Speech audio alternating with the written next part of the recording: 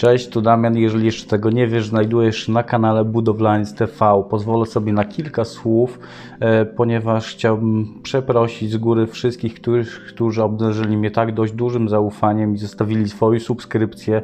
Jest już, mój kanał ma ponad 320 osób, co dla mnie jest to ogromnym sukcesem. Nie spodziewałem się tak dużego odbioru.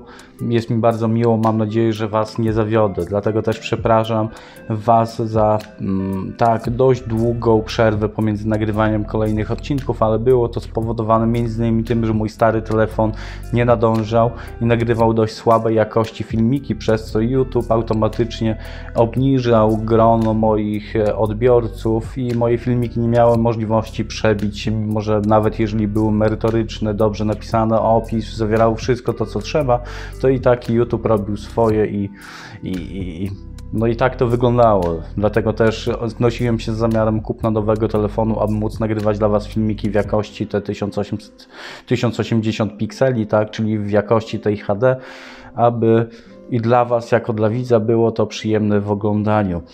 Chciałbym jeszcze powiedzieć, że teraz zacznę serię odcinków, filmików związaną z czynnościami, z pracami związanymi z wykonywaniem elewacji, ociepleniem budynku. E, Mamy sezon, dlatego pomyślałem, że jest to fajne, mm, fajna opcja. Być może e, dwa filmiki cieszyły się dość dużym zaufaniem związanych z listwą startową oraz e, klejeniem na piankę. Dlatego pomyślałem, że będę kontynuował serię tych odcinków. Jeżeli masz jakieś inne sugestie, pisz śmiało w komentarzu. Póki co kilka następnych odcinków będę robił właśnie w tym klimacie. Dobrze, to tyle, a dzisiaj w tym materiale, przepraszam Cię za zbędne gadanie, ale musiałem to powiedzieć. W tym materiale chciałbym zaprosić na, za chwilę na plac budowy, gdzie pokażę, zdradzę Tobie kolejnego lifehacka budowlanego i pokażę Tobie jak i czym wycinać piankę niskoprężną, wysokoprężną w miejscach, gdzie zrobił się taki nadmiar. Także zapraszam Cię gorąco. Dzisiaj przedstawię Tobie life, lifehacka takiego budowlanego, związanego właśnie ze styropianem, z elewacją i będzie dotyczył, odpowiem na pytanie, jak ciąć, jak i czym wycinać piankę. I teraz tak, dobra, do meritum właśnie, zmierzajmy, żeby to trwało krótko i na temat. Chodzi o to, że bardzo wielu budowlańców wycina tutaj, mamy piankę, nadmiar pianki, który chcemy się pozbyć, którego chcemy wyciąć i teraz tak, bardzo wielu budowlańców albo też no, ludzi, którzy tego nie wiedzą, robią to za pomocą nożyka zwykłego takiego, ja mam niebieski, wiadomo dlaczego, nie? Ale chodzi o to, że mają nożyk i popełniają błąd, odsuń się proszę. Bo zademonstruję, jak się może skończyć wycinanie pianki właśnie nożykiem. Biorą i teraz wycinają, tak? Wycinają. Co się robi?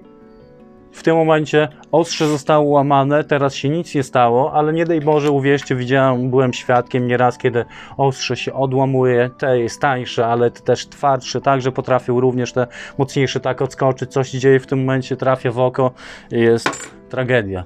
Nie róbmy tego. Ja wiem, że nożyk, tak, ten jest akurat za parę złotych, tak, ale chodzi o to, że nieważne jakie ostrze, nie ufajmy ostrzu, tego się nie powinno robić. Ostrzem, a czym? W takim razie z pomocą nam przychodzi brzeszczot, koszt 2 złote brutto i zobaczycie, to jest brzeszczot właśnie do metalu, wygląda on w taki sposób, jakbyś nie wiedział, jest dostępny w każdym markecie budowlanym. I teraz spójrzmy, jak to fajnie odchodzi.